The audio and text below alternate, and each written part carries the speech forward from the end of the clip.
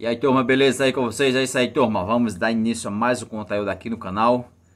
É, Nesse vídeo pessoal eu vou mostrar para vocês como que fazer um cabresto para cavalo Com a corda bem fininha, essa corda de 13 milímetros. E na verdade eu vou, já vou utilizar pessoal esse destrucidor aqui ó Esse guia.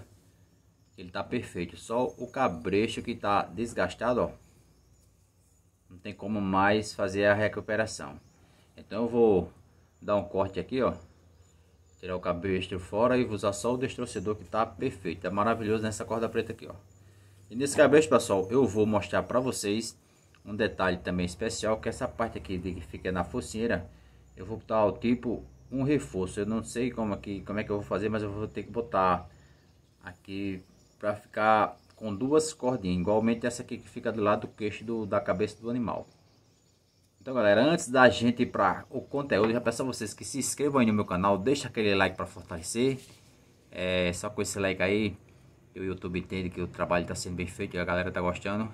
E assim divulgar o meu trabalho para mais e mais pessoas. Então deixa o like, se inscreve, deixa aí os comentários aí que vocês vão é, estão achando do conteúdo.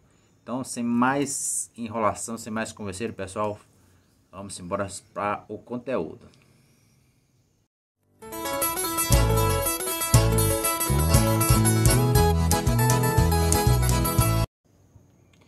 Então, pessoal, é isso aí. Antes de começar aqui o conteúdo, pessoal, já quero aqui aproveitar e mandar um forte abraço aqui para José Atanásio, ele que é do estado vizinho aqui nosso, do Rio Grande do Norte, da cidade de Caicó. José Atanásio, meu amigo, um forte abraço para você, todo aí, todo, todos os potiguais, a galera toda aí de Caicó. Sinta-se abraçado por Márcio Rodrigues e Tradições Nossa Terra. Um forte abraço para você, meu amigo. Continue sempre fortalecendo e enaltecendo o meu trabalho. Então, galera, é isso aí. Após o alô aí do nosso amigo é, José Atanásio, é, a gente vai agora para o conteúdo. Então, pessoal, vocês vão pegar uma corda exata, pessoal. Essa cordinha 13 milímetros. Você vai medir 2 metros exatos. Você pega uma trena, mede 2 metros exatos. Quando você medir, você vai pegar as duas pontas e fazer a conexão, certo? Uma com a outra. Com a linha encerada. Fazer, fazer a conexão das duas pontas. É, dar aqui uma, várias passadas, indo e voltando. Que é para ficar conectado aqui uma na outra. Então pessoal, é, já dei aqui as passadinhas, ó. Já tá conectado uma na outra, ó. Vocês podem ver, ó. Tá conectado aqui, ó, uma na outra. Vamos separar aqui, pessoal. Separou aqui, ó. Tirou fora, que aqui não vai ter mais utilidade nenhuma, tá desgastado pra caceta. Desgastou geral que você tirou aqui, pessoal, você vai pegar a corda nova, vai passar por dentro da argola. E agora, pessoal, essa parte agora a gente vai ter que ir lá para a cabeça do cavalo, que é para a gente tirar a medida de lá, entendeu? Você tem a opção de você tirar essa medida, pessoal, sem utilizar a cabeça do animal. Mas para ficar um trabalho bem feito, você é, tirar sob medida, você leva para cabeça do animal para você fazer o passo a passo, entendeu? E deixar no, o, vamos dizer, né, vamos falar no, no ditado popular, deixar no esquadro, deixar primeira. Então a gente vai para a cabeça do animal agora, daí vocês vão ver como que, que vai ficar essa medida desse cabresto. Sim, galera, e outro detalhe aqui que vocês não podem esquecer é quando você for tirar a medida, a junção aqui, as duas pontas, ela tem que ficar o mais próximo possível da argola, que é para você cobrir com a linha encerada essa parte aqui, ó. Você vai cobrir essa parte aqui com a linha encerada, mais ou menos esse tanto aqui, ó, daqui para aqui, de uma unha para outra aqui, ó. Que é para ninguém perceber onde que ficou a emenda, a junção das duas pontas. Então isso aí isso é muito importante vocês saberem disso, entendeu? Aí de daqui, pessoal, a gente vai agora para a cabeça do animal para você ver como é que vai ficar é, esse cabresto sob medida. Acompanha comigo. Então, gente, é isso aí. Vamos lá, vamos tirar a medida aqui direto da cabeça do animal, certo? Aqui a corda de 2 metros que eu cortei. Já fiz a junçãozinha aqui, ó. As duas pontas. E agora eu vou tirar a medida aqui direto na cabeça do animal, certo? Você vai passar aqui por dentro da cabeça dele, ó.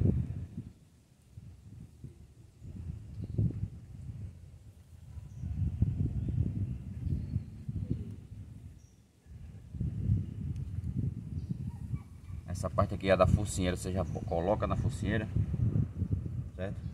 E vai lembrar, pessoal, que essa parte aqui, ó, pretinha aqui da conexão, ela tem que ficar aqui no pé da argola, é para quando eu for cobrir com a linha encerada, essa parte aqui ela ficar coberta, entendeu? Todo cabelo que você for fazer, essa parte aqui da junção das duas pontas tem que ficar aqui no pezinho da argola, que é para na hora de você cobrir com a linha encerada, ninguém vê é, a junção da, da, das cordas, entendeu?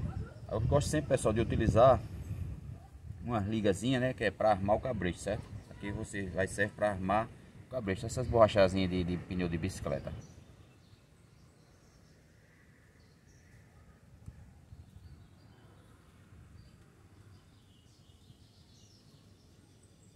Essa é a primeira. Aí pego mais uma. Aí vou medir aqui mais ou menos aqui nessa parte da testa do animal, ó. Mais ou menos aqui de lado, ó. Aí passo a segunda.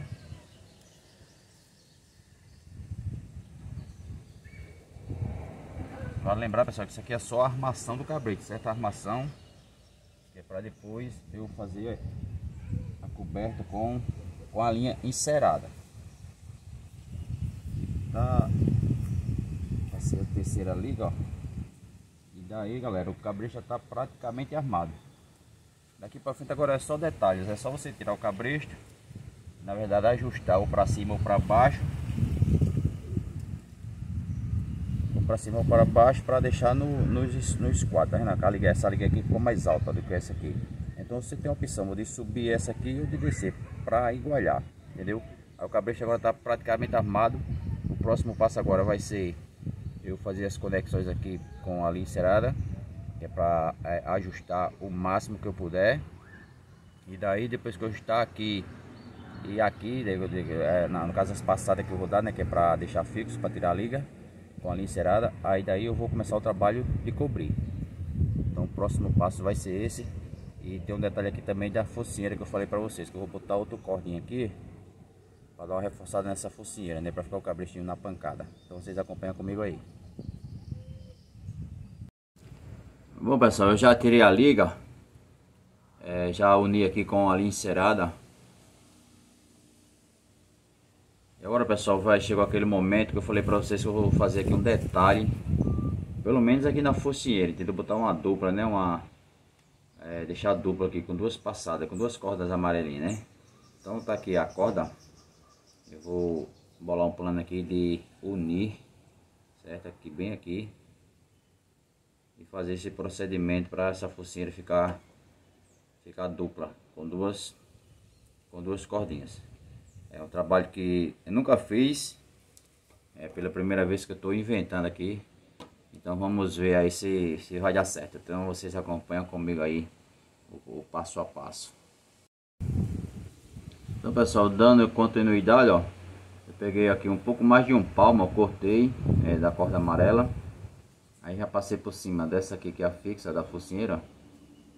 Aí já ficou duplo, ó.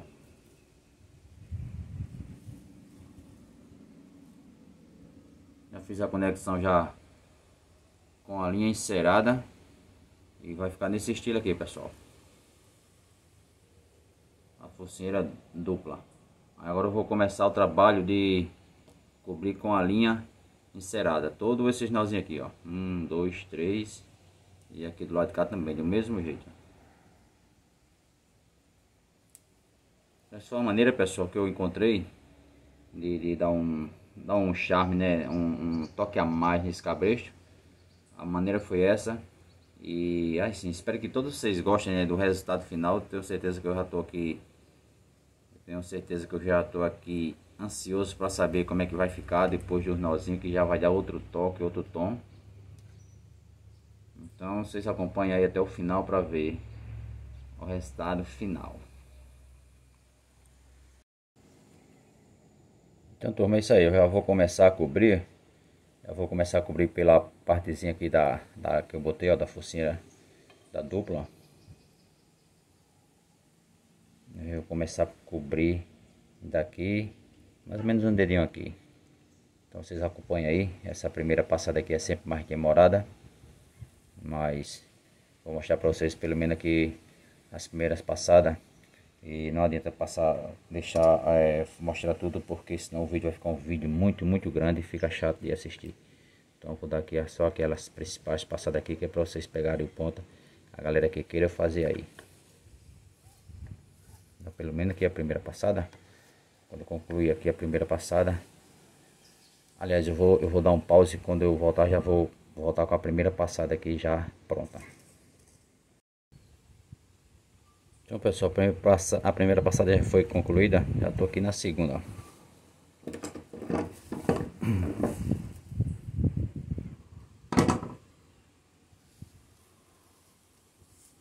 Essa, esse nozinho, vale lembrar pessoal que o que der no primeiro dá em todos, entendeu? O início da costura que você já deve ter aprendido em outros vídeos meus, eu sempre inicio com aquele nozinho de porco. Não tem errado, é.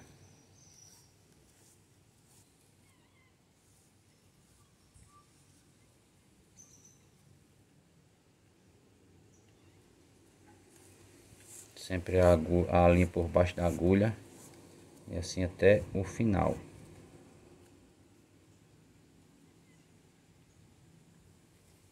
furou passou a linha por baixo da agulha.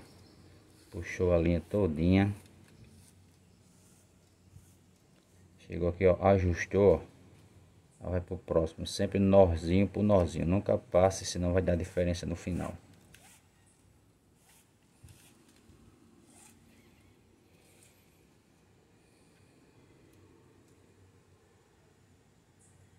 Passou. Puxa a linha para dar ajustada e assim vai até o fim.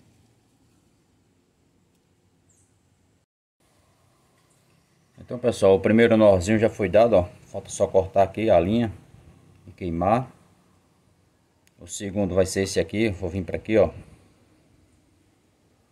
E assim sucessivamente, todos eles. Eu não vou filmar todo, que é para não ficar o vídeo muito grande. E quando eu voltar, pessoal, já vou voltar com o cabresto pronto, todos nós concluídos. Então vocês acompanhem aí. É, se ficar um vídeo muito grande, se vocês acharem grande, mas tenho certeza que é um vídeo bem proveitoso, proveitoso aí é para galera que queira aprender e fazer um cabresto nesse nesse nível.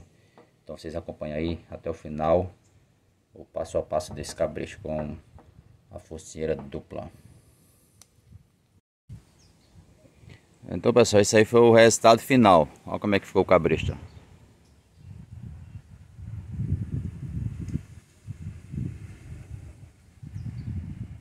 Olha esse acabamento pessoal. Aí eu tava com essa corda aqui, essa corda tem um pouco mais de 2 metros. Aí, pra mim não perder ela, né, eu medi um cabresto certinho. Esse distorcedor que esse aqui que eu já tinha, que era do cabresto antigo, tava bastante desgastado aproveitei ele e a argola. E essa corda galera é uma cordinha de 3 milímetros. Imaginou aí se fosse uma corda de 6 ou de 8 como ficaria show esse cabresto? Então se liga aí, se liga pessoal no acabamento final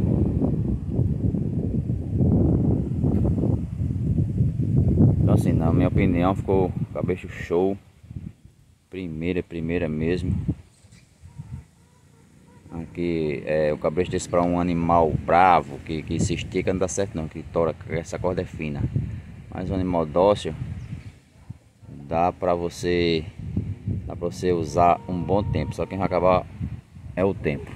Olha o acabamento final aqui pessoal, debaixo do queixo do cavalo.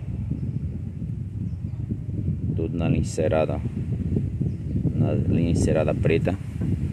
E o resultado final foi esse. Então galera, é isso aí, eu fico feliz, muito feliz aí quando eu posto um vídeo desse, que pessoal aí, muita gente já falou para mim que tá fazendo, está vendendo, ganhando dinheiro através de meus conteúdos. Isso para mim é muito bom, fico feliz.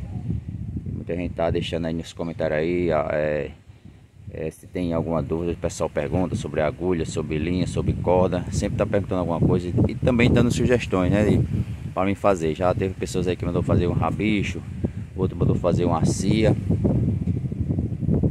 E eu tô catando, né? Eu tô catando e é, vou botar em prática aí quando eu tenho um tempinho e fazer mais alguns conteúdos para vocês.